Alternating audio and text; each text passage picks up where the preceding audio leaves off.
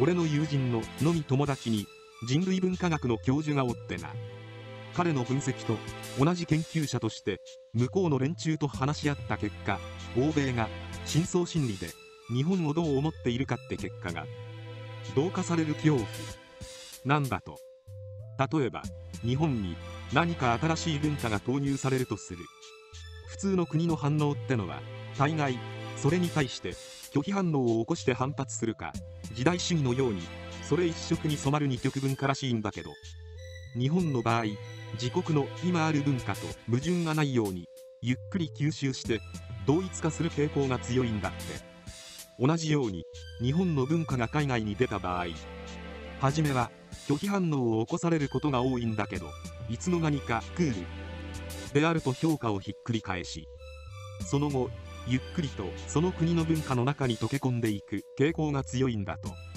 この同化吸収ってのがいつか自分たちが日本の文化に染まってしまうんじゃないかっていう恐怖になるらしい。基本が制服と服従である欧米や中国の文化とあまりに違うので理解しづらいってのもあるみたい。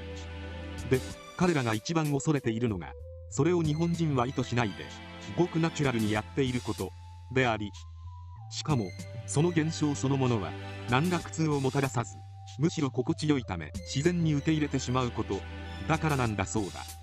意図を持ってやっているものはそれを見抜いてやめさせることができるけど意図せずに呼吸をするように自然にやっていることはやめさせることができない。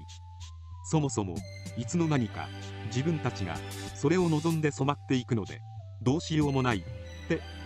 苦痛もなくむしろ快感の中でスライムにゆっくり消化されていく状態とかそれに近い妄想を抱かせる恐怖らしい。